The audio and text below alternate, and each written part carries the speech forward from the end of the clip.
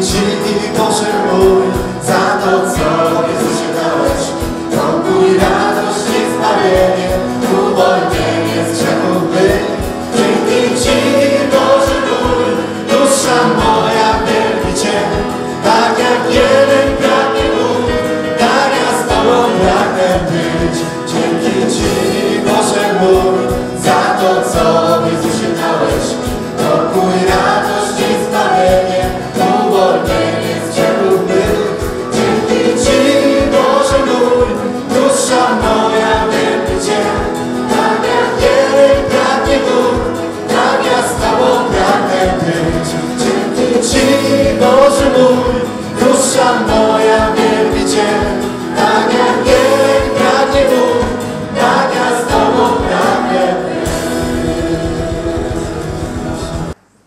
Że przypomnę te najważniejsze myśli związane z wieczerzą pańską, a zwłaszcza e, z tym, co jest związane z wieczerzą pańską. E, Powiada Boże Słowo, że w dniach ostatecznych ludzie będą szli jak gdyby w dwóch kierunkach. Po pierwsze, ludzie będą dążyć do uświęcenia, a więc będą szukać coraz głębszej, coraz większej społeczności z Bogiem. A więc będzie to jedna grupa, której, która będzie za wszelką cenę dążyć do bliższych relacji z Bogiem. A więc ci, którzy są święci, będą się jeszcze bardziej uświęcać. Ale Boże Słowo też mówi, zarówno prorok Daniel, jak i ewangelista Jan piszący objawienie świętego Jana, że będzie i druga grupa, drugi strumień, która grzesząc będzie podążać jeszcze bardziej w grzech, będzie zdążać jeszcze bardziej w kierunku grzechu. Nie potrafię powiedzieć, czy jest trzecia, obojętna grupa, której nie można by było zaliczyć ani tu, ani tu. Nie potrafię powiedzieć, ponieważ Boże Słowo takiej grupy nie wymienia. A więc po pierwsze, ci, którzy dążą do uświęcenia, są święci i dążyć będą do uświęcenia. I ci, którzy grzeszą, dążyć będą do jeszcze większego, większego splamienia swojego życia.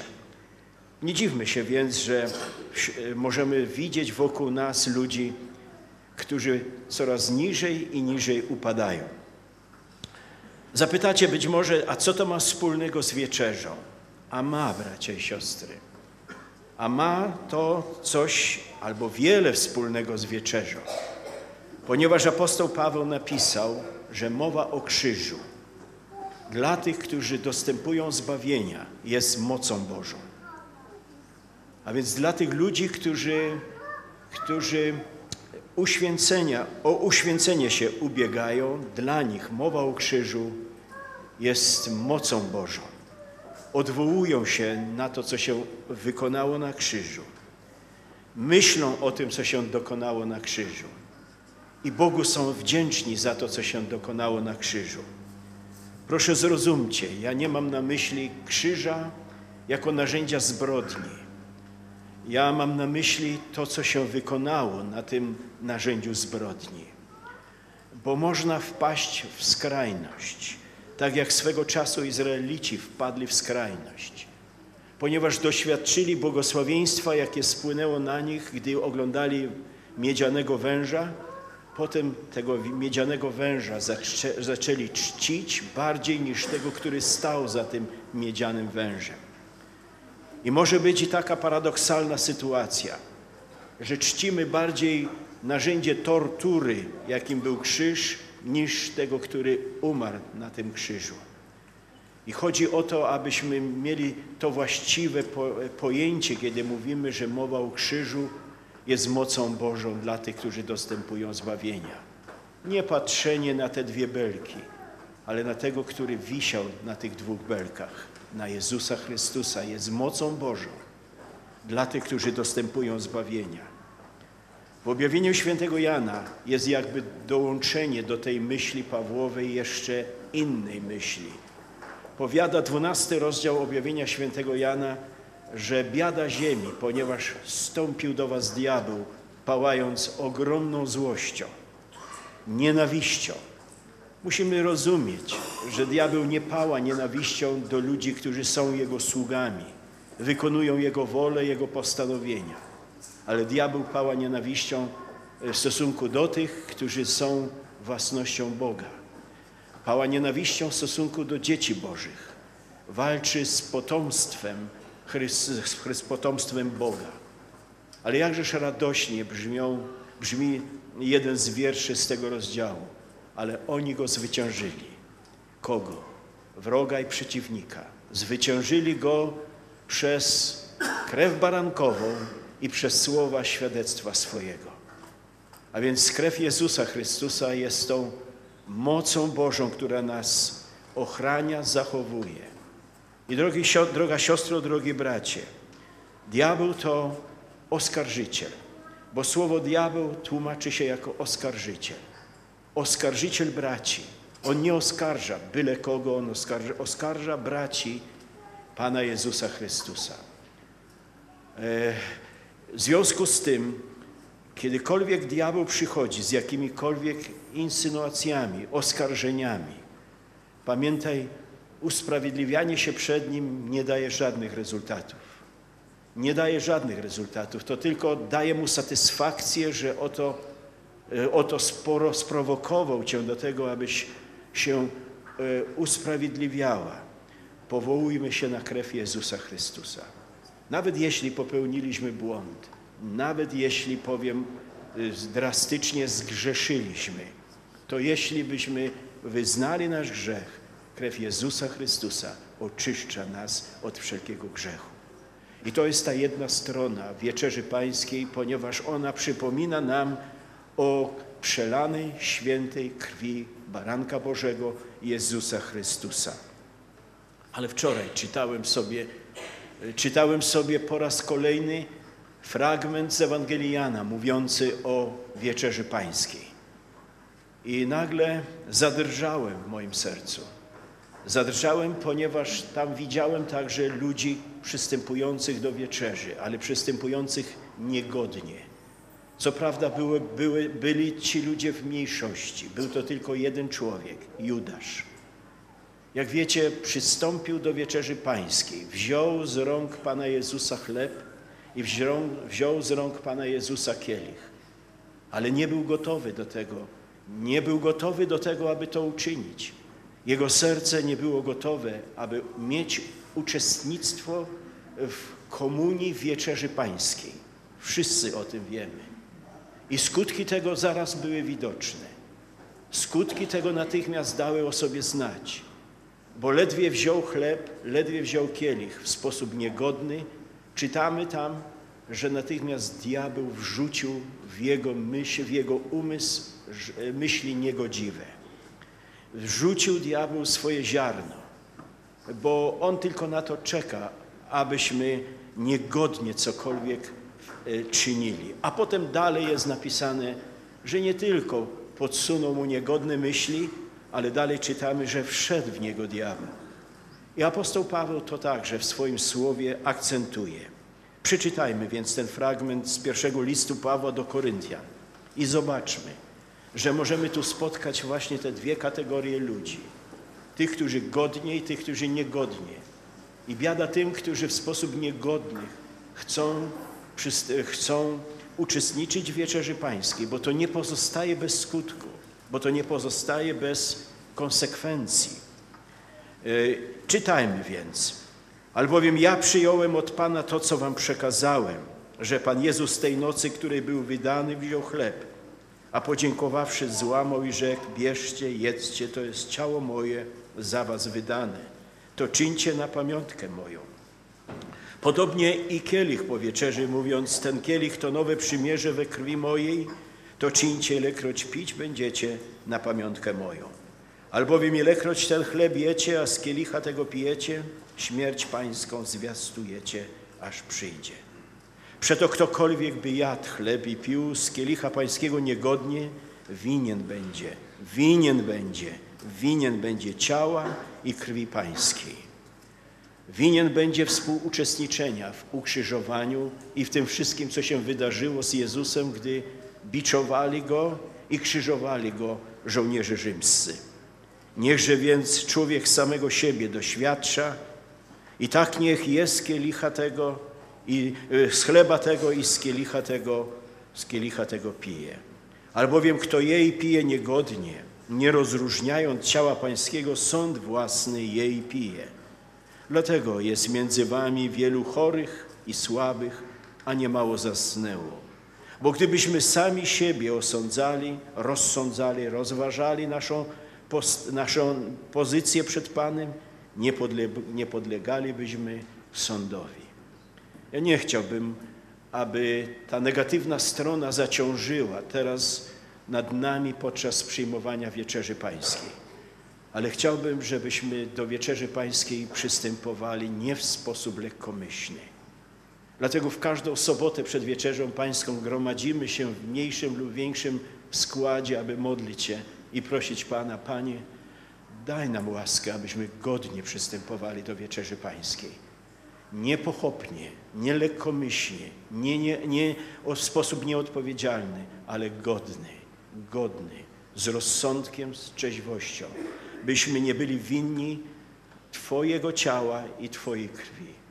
Pamiętajcie o Judaszu, który w sposób niegodny, e, niegodny przystąpił do wieczerzy pańskiej. I Paweł coś z tego na, przed czymś takim nas ostrzega.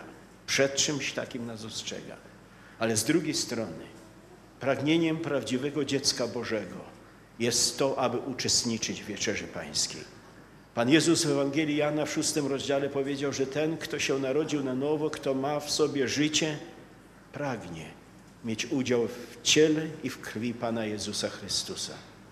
Dla Niego nie jest to obojętne.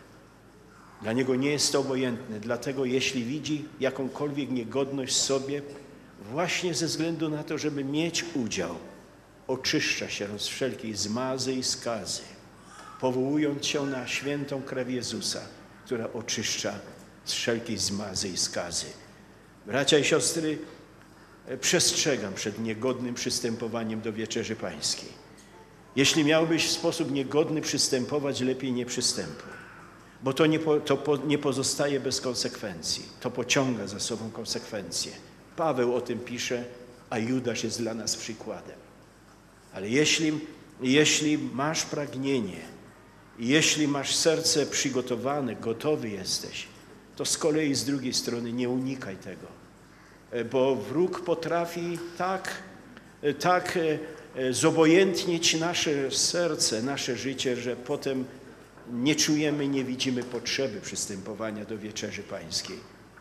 Prośmy więc Pana, aby oczyścił serca nasze, abyśmy godnie przystąpili teraz do łamania chleba i do picia z, z tego kielicha. A więc poprośmy Pana, bo ja jestem świadomy, że czasem różne sytuacje, mogą spowodować, że przychodzimy do zgromadzenia nieprzygotowani. Nie wiem, czy zauważyliście. Kiedyś to słyszałem i z tym się absolutnie zgadzam. Zapytał mnie ktoś, bracie, co to jest, że kiedy ma nastąpić wieczerza pańska, wtedy w domu powstają największe problemy, największe napięcia między żoną a mężem, między rodzicami a dziećmi.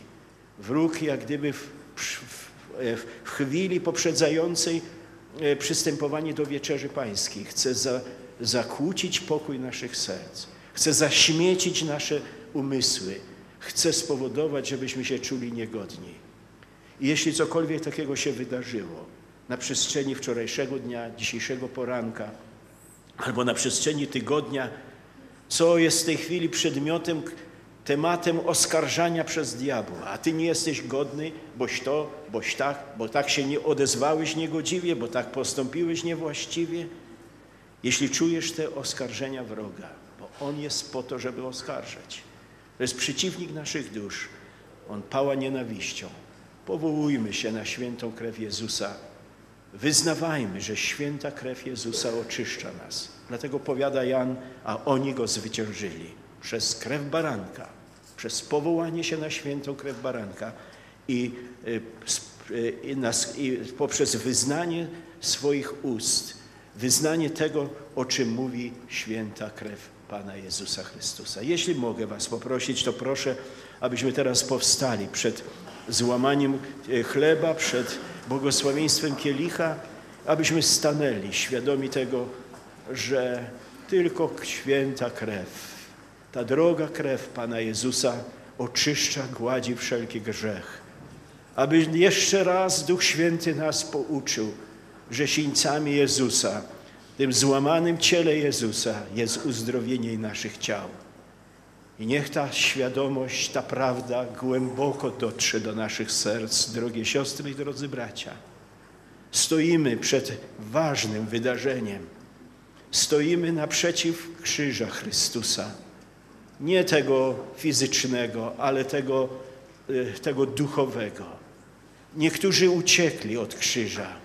Niektórzy uciekli od krzyża. Nawet najbliżsi uciekli na widok tej agonii, tej śmierci, tego cierpienia. My zbliżmy się dzisiaj do tego, co się wydarzyło na Golgocie. Podejdźmy bliżej, aby z wdzięcznością spojrzeć w każdą Jego bliznę, każdą ranę, w każdą siność i wyznać naszymi ustami, Panie, to za mnie Cię biła rzymska straż.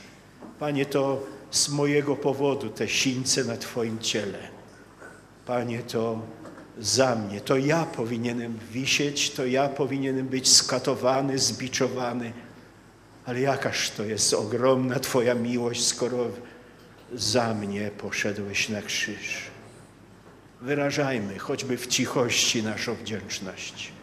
Spójrzmy na te sączące się stróżki krwi płynące spod korony cierniowej, po Jego twarzy, po Jego licach.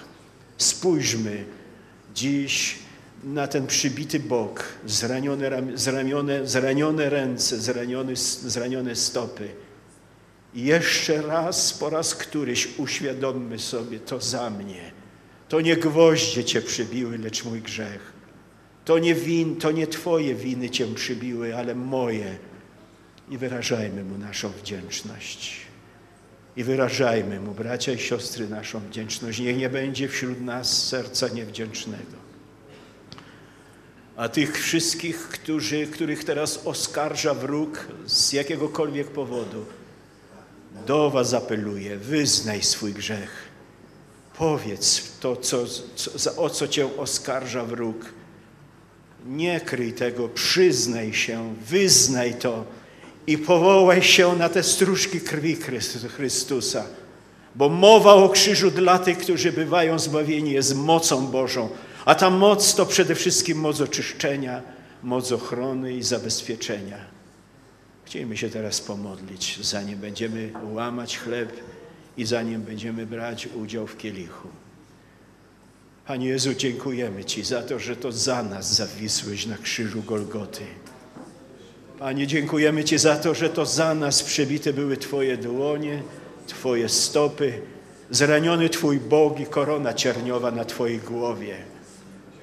Panie, jakżeż Ci jesteśmy wdzięczni, że to dzięki Twojej śmierci my możemy żyć, żyć wiecznie. Panie, jakżeż Ci jesteśmy wdzięczni, że tych, których krew Twoja oczyściła, serca stały się bielsze niż śnieg. Chwała Ci za to. Panie, my nie byliśmy godni, ale Ty, kierując się miłością, za nas umarłeś. Chwała Ci. Panie, chcemy teraz także spojrzeć na Twoje ciało pełne sińców i ran i wyznać, że sińcami Twoimi doznajemy uzdrowienia. I niechżeż tak się dzieje, Panie. I niechżeż tak się dzieje wtedy, gdy Dzieci Twoje dotykać będą ciała, chleba. Niech w imieniu Twoim następuje uzdrowienie. Niech w imieniu Twoim ustępują choroby i niemoce. I niech lud Twój, dzieci Twoje, osłabłe w swoich ciałach w imieniu Twoim zostaną posilone ze względu na to, co się stało, kiedy byłeś ubiczowany. Panie, dziękujemy Ci, że sińcami Twoimi zostaliśmy uzdrowieni, a świętą Twoją krwią oczyszczeni i w, w taką wiarą, w moc Twojej świętej krwi i z tą wiarą w moc Twoich sińców chcemy teraz, Panie, brać do ręki chleb, łamać go, chcemy brać kielich, błogosławić go i przyjmować. Dobry Boże, w imieniu Jezusa chcemy to uczynić. Amen.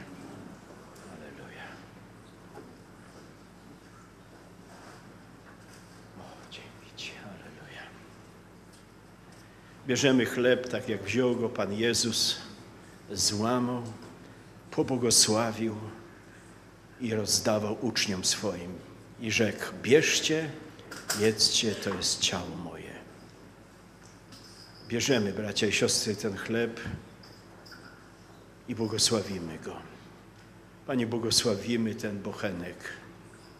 Błogosławimy ten chleb, tak jak Ty go błogosławiłeś dwa tysiące lat temu. I tak jak złamane było Twoje ciało dla naszego uzdrowienia, tak my go złamiemy i chcemy go przyjmować dla naszego uzdrowienia. Panie, niech każdy kęs tego chleba świadczy o tym, że rozprawiłeś się z naszymi chorobami i niemocami. I niech, gdy lud Twój go będzie spożywał, doznaje uzdrowienia. Ty powiedziałeś do tej niewiasty kananejskiej, że chleb uzdrowienia jest dla dzieci, dla synów Izraela. Ale dziękujemy Ci, że ten chleb uzdrowienia jest także i dla nas. Dlatego chcemy go spożywać na Twoją chwałę. Amen.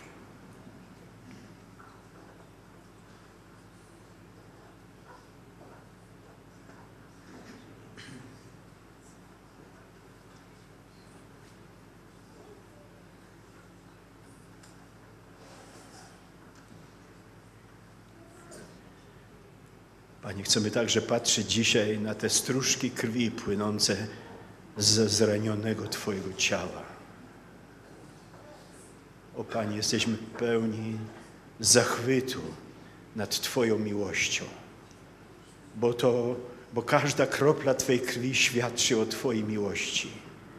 Dziękujemy Ci, że mówi ona lepsze rzeczy niż krew Abla. Nie potępia, ale usprawiedliwia.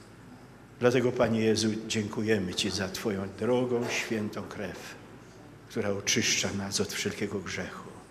Przyjmujemy to wiarą i dziękujemy Ci. O, dziękujemy Ci. Halleluja.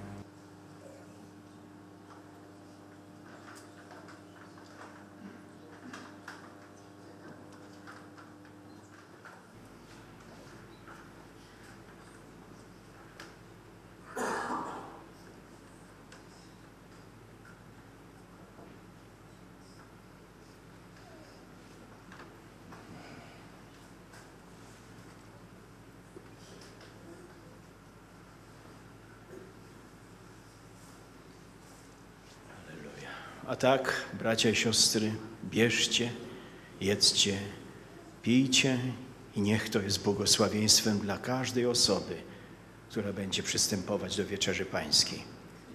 Wszakże ci, którzy mimo wszystko podjęli decyzję, że dzisiaj w wieczerzy pańskiej uczestniczyć nie będą, proszę, abyście usiedli dla e, ułatwienia roznoszenia chleba i wina. Halleluja będziemy przystępować do wieczerzy pańskiej. Czyńmy to w skupieniu i w ciszy, w powadze. Czyńmy to, czyńmy to z otwartym sercem, skruszonym sercem, bo Bóg się pysznym sprzeciwia, ale pokornym łaskę daje. Aleluja. Proszę bracia. Bądźcie błogosławieństwem dla ludu Bożego.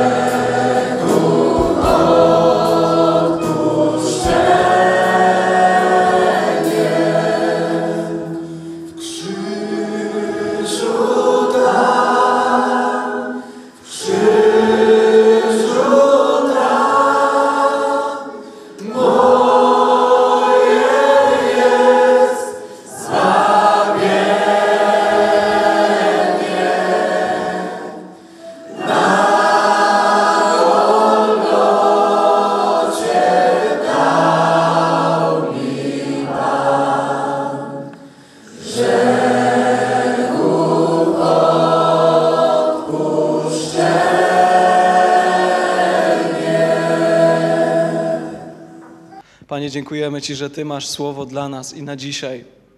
Że masz słowo, którym chcesz pocieszać, słowo, którym chcesz przemieniać, słowem, słowo, którym, które chcesz używać dla Kościoła. Dziękuję Ci, Panie, poddajemy cały ten czas po- pod Twoje panowanie, pod Twoje prowadzenie, Duchu Święty. To jest Twój czas. Amen. Amen. Kochani, kiedy i pozwólcie, że będziemy przez e, wersety Bożego Słowa bardzo szybko przechodzić. Ja postarałem się przygotować, e, tu będę współpracował z Łukaszem, który wyświetla. On wcześniej dostał wersety, a więc one będą e, na ścianie. A więc w Ewangelii Łukasza w 24 rozdziale, w 27 wersecie jest, jest wzmianka o tym, że Pan Jezus na drodze do Emaus po swoim zmartwychwstaniu, po swojej męce, y, po swoim chwalebnym i zwycięskim zmartwychwstaniu y, zaczął odwiedzać uczni, zaczął, zaczął odwiedzać swoich naśladowców, zaczął się z nimi spotykać. Przez, y, przez te dni, które y, był tutaj jeszcze po zmartwychwstaniu, spotykał się z uczniami i tam na drodze do Emaus spotkał dwóch uczniów swoich, którym wykładał pisma, którym wykładał Boże Słowo, począwszy od Mojżesza poprzez proroków. I 30 wers, 32 werset, y, który y, traktuje jako wstęp do tego, co chcę powiedzieć tak naprawdę, to to, w jaki sposób oni zareagowali, słuchając Słowa. To sposób, w jaki, y, to sposób, w jaki oni, jakie oni mieli serce, to, to nastawienie serca, jakie mieli, kiedy słyszeli y, Pana Jezusa mówiącego do nich. Czyż serce nasze nie pałało w nas, gdy mówił do nas w drodze i pisma przed nami wykładał, otwierał. Niech Bóg dzisiaj dotyka naszych serc. Przez tą jeszcze chwilę, którą mamy, niech Bóg sprawia nam takie poruszenie serca na słowo, które będziemy dzisiaj słyszeć. A słowem, którym chcę, chcę się podzielić, to tak naprawdę dwa wydarzenia, dwie historie, dwie historie, które są bardzo pokrewne i w zasadzie możemy je ze sobą zestawić. Pierwsza z nich y, jest zawarta w pierwszej księdze Mojżeszowej, y, Mojżesza, 22 rozdziale, od 1 do 14. Pozwólcie, że, y, że przeczytamy sobie tą historię. 22 od 1 do 14. Bardzo znana historia, znacie ją z pewnością na pamięć, ale chciałbym zwrócić na parę rzeczy w tej historii uwagę. Po tych wydarzeniach wystawił Bóg Abrahama na próbę i rzekł do niego: Abrahamie, a on odpowiedział: Oto ja. I rzekł: Weź syna swego, jedynaka swego, Izaka, którego miłujesz, i udaj się do kraju Moria i złóż go tam w ofierze całopalnej na jednej z gór, o której ci powiem. Wstał tedy Abraham wczesnym rankiem, osiodłał osła swego i wziął z sobą dwóch ze sług swoich i syna swego Izaka. A narąbawszy drew na całopalenie, wstał i poszedł na miejsce, o którym mu powiedział Bóg. Trzeciego dnia podniósł Abraham oczy swoje i ujrzał z daleka to miejsce. Wtedy rzekł Abraham do sług swoich: Zostańcie tutaj z osłem, a ja i chłopiec pójdziemy tam, a gdy się pomodlimy, wrócimy do was. Abraham wziął drwa na całopalenie i włożył je na syna swego Izaka. Sam zaś wziął do ręki ogień i nóż i poszli obaj razem. I rzekł Izak do ojca swego Abrahama tak: Ojcze mój, a ten odpowiedział: Otom jest.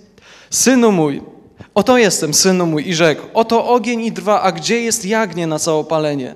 Abraham odpowiedział: Bóg upatrzy sobie jagnię na całopalenie, synu mój. I szli obaj razem. A gdy przybyli na miejsce, o którym mu Bóg powiedział, zbudował tam Abraham ołtarz i ułożył drwa, potem zawiązał syna, związał syna swego Izaka i położył go na ołtarzu na drwach. I wyciągnął Abraham swoją rękę i wziął nóż, aby zabić syna swego, lecz anioł pański zawołał nań z nieba i rzekł, Abrahamie, Abrahamie, a on rzekł, otom ja. I rzekł, nie podnoś ręki na chłopca i nie czyń mu nic, bo teraz wiem, że boisz się Boga, gdyż nie wzbraniałeś się ofiarować mi jedynego syna swego. A gdy Abraham podniósł oczy, ujrzał za sobą barana, który rogami uwikłał się w krzakach. Poszedł tedy Abraham, a wziąwszy barana, złożył go na całopalenie zamiast syna swego. I nazwał Abraham to miejsce Pan zaopatruje, dlatego mówi się po dziś dzień na górze Pana jest zaopatrzenie. Ta historia to historia człowieka, który był do granic możliwości posłuszny Bogu. I pozwólcie, że w punktach y, prześledzimy dokładnie y, to, y, to na, co chcemy, na co chcę zwrócić uwagę. Po pierwsze, Abraham miał jedynaka. Oczywiście zgodzimy się wszyscy, że Abrahamowi wcześniej urodził się Ismael. Ale w oczach Bożych i zgodnie z tym, co czytaliśmy, to Izak jest jedynym synem, prawowitym dziedzicem Abrahama. I to od Izaka y, ma być, y, ma być potomstwo. Tak powiedział Bóg do Abrahama y, wcześniej, troszkę wcześniej. W pierwszej księdze Mojżeszowej 21:12 obietnica złożona Abrahamowi. Od Izaka będzie potomstwo. A więc w Bożych oczach Abraham miał jedynego, umiłowanego, jednorodzonego syna Izaka. Po drugie, miał złożyć ofiarę z tego jedynego swojego syna. Po trzecie, miał udać się do krainy Moria. Tą krainą jest dzisiejsza Jerozolima. Po czwarte, Bóg miał wskazać Abrahamowi dokładnie wzgórze w Jerozolimie, w krainie Moria, na którym Izak miał być złożony. Wędrowali trzy dni, 120 kilometrów z Berszeby. Wjeżdżali w tą krainę, a więc w Jerozolimie na osiołku.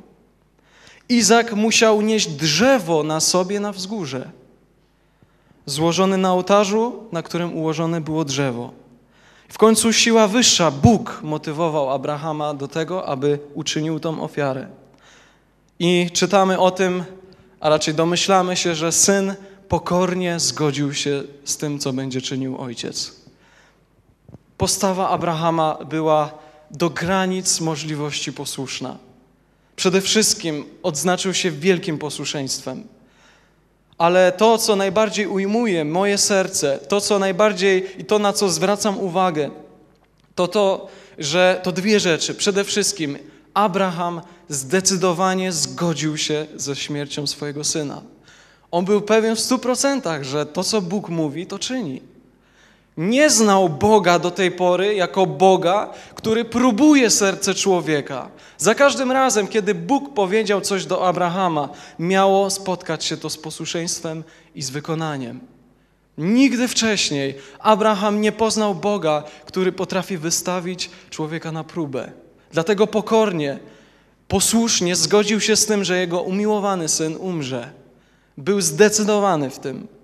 Ale oprócz tego, że Abraham był posłuszny, oprócz tego, że zgodził się w stu procentach z tym, że Izak umrze, Abraham miał coś jeszcze w sobie. Coś, co powodowało, że mógł stawiać pewnie krok w stronę krainy Moria. Coś, co powodowało, że mógł ze sobą wziąć drzewo i był zdecydowany w tym, co robi. To była wiara. To była wiara. Wiara. W co miał wiarę? Albo w co wierzył Abraham? W liście do Hebrajczyków w 11 rozdziale, 19 wierszu czytamy, że Abraham uzmysłowił sobie jedną rzecz. Składając swojego syna, albo, albo będąc posłusznym w tym dziele złożenia ofiary ze swojego syna, uświadomił sobie jedną rzecz. Czytajmy. Sądził, że Bóg ma moc wskrzesić nawet umarłych. Abraham uwierzył, uwierzył w Boga Wszechmogącego. On wcześniej nie spotkał się z takim czymś. Nie widział na własne oczy, jak umarli wstają, ale uwierzył w Boga, że jest Bogiem Wszechmogącym. Ta jego prosta matematyka, więc obietnica, którą Bóg mu dał, że z Izaka będzie potomstwo i ten nakaz, który Bóg e, mu zlecił, że Izak ma być złożony w ofierze, doprowadziła Abrahama do tego wniosku, że Izak musi zmartwychwstać i Bóg go wzbudzi. I jak powiada autor do Hebrajczyków, otrzymał go jakby z umarłych z powrotem, swojego syna. To wiara. To wiara, do której Bóg chce dzisiaj nas zachęcić. Wiara jako początek drogi za Panem Kiedy, kiedy prześledzimy y, wszystkie ataki i sprzeciwy wobec głoszenia Ewangelii, to za każdym razem to jest przeciw, to jest sprzeciw y, wycelowany bezpośrednio w wiarę. Gdy Żydzi domagają, domagają się znaków, a Grecy domagają się mądrości, my zwiastujemy Chrystusa ukrzyżowanego. Dla Żydów wprawdzie zgorszenie, dla Greków głupstwo. To zawsze jest wiara. I dlatego Abraham na zawsze pozostanie ojcem wiary dla wierzących. Uwierzył Bogu. Pozwólcie, że przejdziemy bardzo szybko do drugiej historii. I ta historia rozrzucona jest po różnych miejscach Biblii.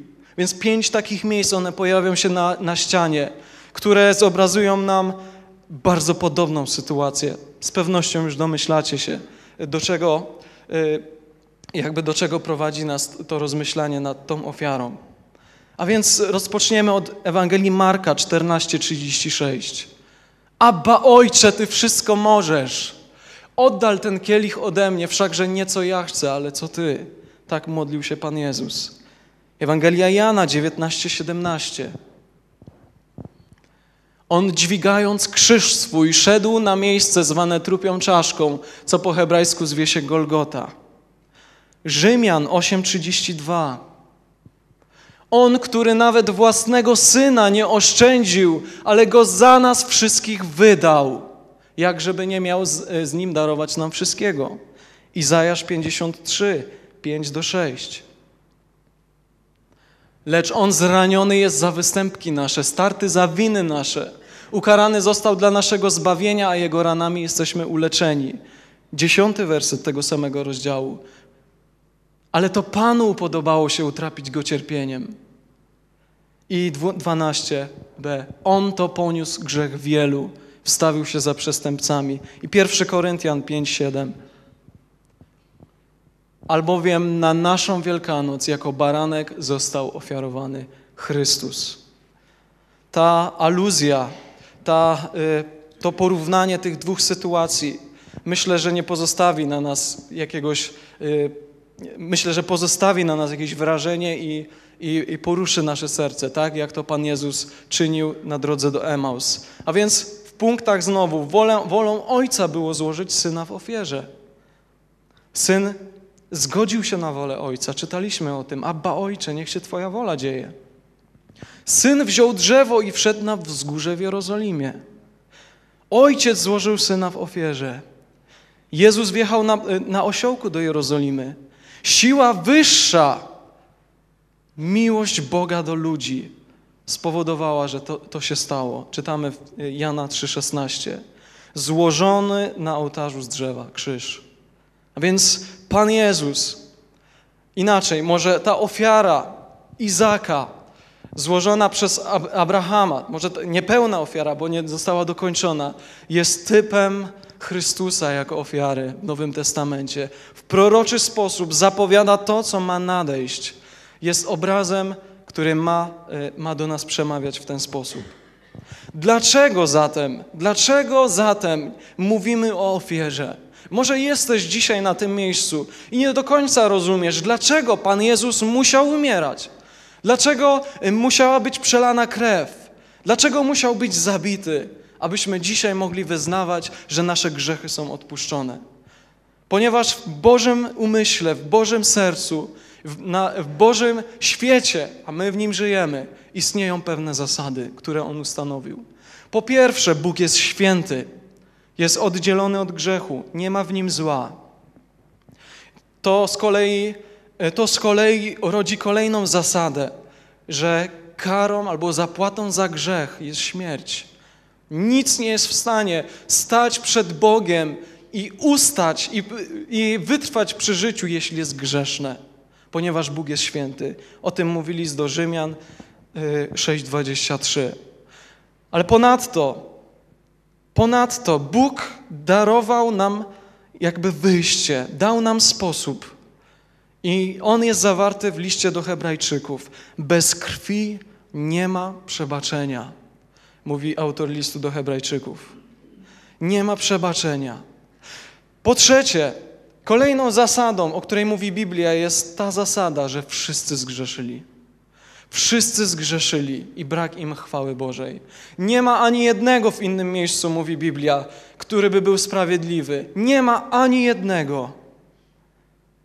Przestępstwo prawa zawsze będzie grzechem. I Jan w swoim liście mówi: Wszelka nieprawość jest grzechem. Któż tej nieprawości się nie dopuścił? Ale ostatnia i bardzo pewna zasada, którą musimy uwierzyć tak samo jak w łaskę i przebaczenie, to Boży gniew i potępienie. Nie można tego oddzielić. To jest tak bardzo jaskrawe i bardzo znaczące w Bożym Słowie. Gniew i potępienie, które diabeł bardzo skrzętnie wykorzystuje.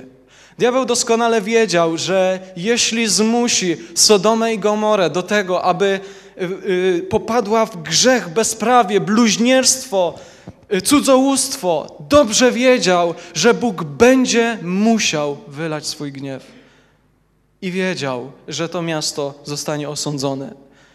Doskonale diabeł wiedział, że jeśli uda mu się cały świat zmusić do grzechu, do wyuzdania, do nieprawości. Dobrze wiedział, że Bóg będzie musiał to osądzić i się nie mylił. Bóg zesłał potop. Omal mu się udało wyniszczyć cały świat. Ale Bóg miał plan. On zawsze ma ostatnie słowo i zawsze ma nadzieję, zawsze jest ratunek, zawsze jest nadzieja.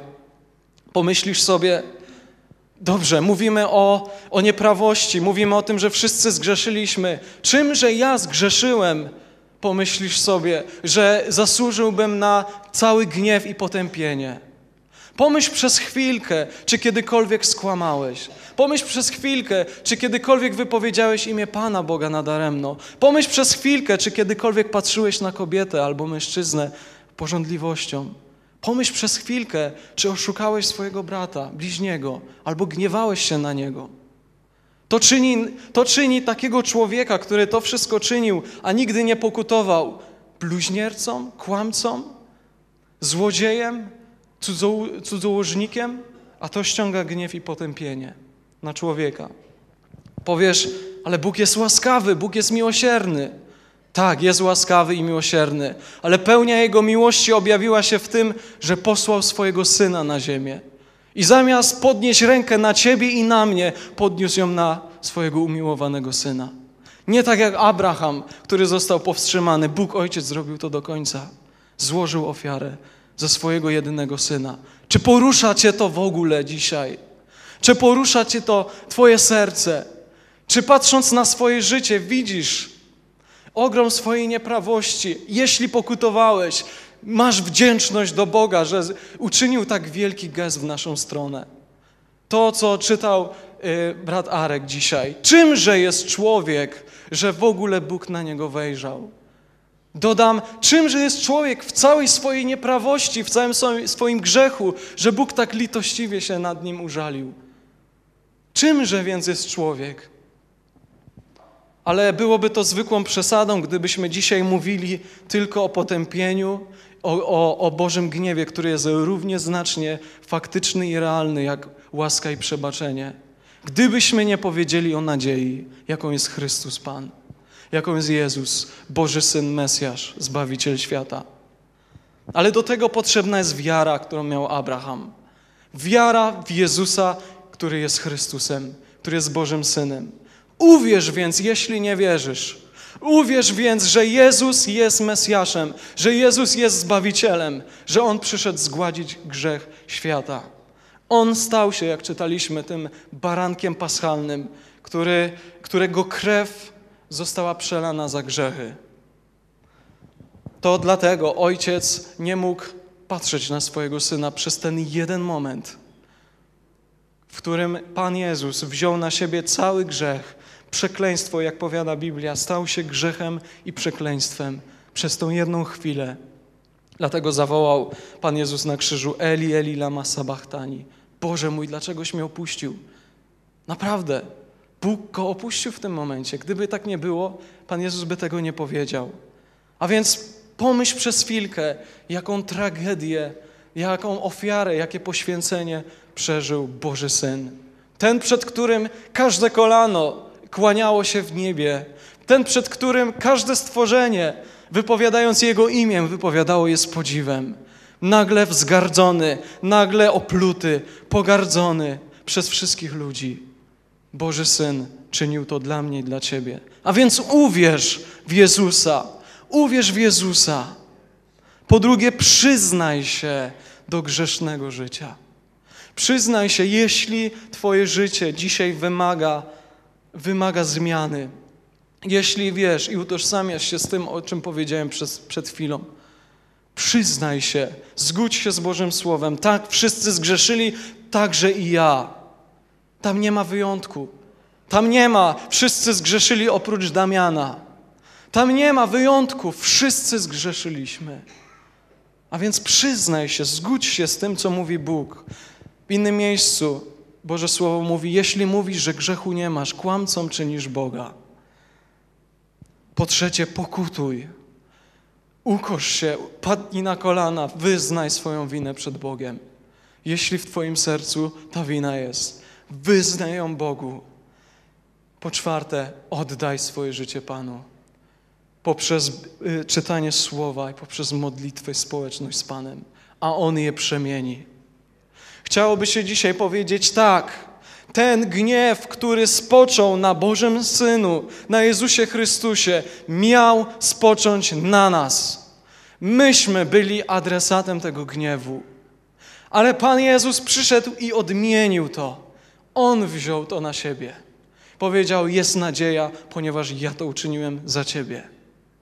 Jeśli Twoje serce dzisiaj zgadza się z tym, to nie pozostanie obojętne. To będzie poruszone, to będzie dotknięte i będzie reakcja na to, co dzisiaj mówimy. Pozwólcie na sam koniec, ponieważ czas ku temu y, jest, aby zacytować ostatni fragment listu do Rzymian. Otwórzmy sobie ten fragment i dzisiaj jeszcze w domach przeczytajmy sobie go raz. Skupmy się nad tym fragmentem w, doma, nad tym fragmentem w domach, kiedy będziemy rozmyślać. Y, list do Rzymian, drugi rozdział, 4 do 5.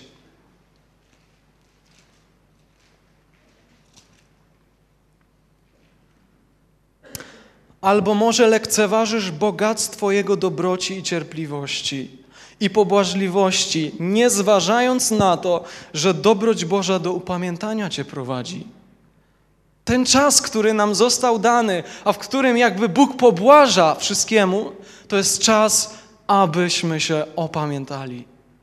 To jest czas, w którym Pan Bóg nie liczy Twoich win, ale oczekuje, że się opamiętasz. To jest czas, kiedy żaden kamień w Twoją stronę nie poleci, ponieważ zgrzeszyłeś.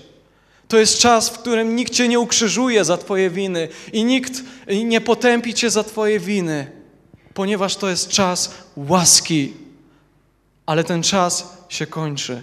Ten czas jest ograniczony. Ty jednak przez zatwardziałość swoją i nieskruszone serce gromadzisz sobie, gromadzisz sobie gniew na dzień gniewu i objawienia sprawiedliwego sądu Boga. Tak będzie taki dzień, kiedy Bóg po prostu ze względu na swoją naturę będzie musiał wylać swój gniew.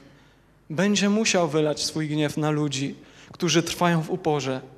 Póki jest czas, póki jest czas, skorzystaj. Póki jest pora, skorzystaj. Póki jest ku temu sposobność, skorzystaj z tej łaski. Łaską nie jest, że Bóg toleruje grzech. To nie jest to. Łaską jest, że Bóg swój gniew wylał na swojego syna zamiast ciebie. To jest łaska. I z tej łaski skorzystajmy dzisiaj.